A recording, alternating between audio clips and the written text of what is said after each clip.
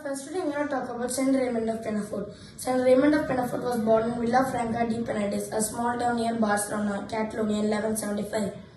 Descended from a noble family with ties to the royal house of Aragon, he was educated in Barcelona at the University of Bologna where he got his doctorate in civil and canon law.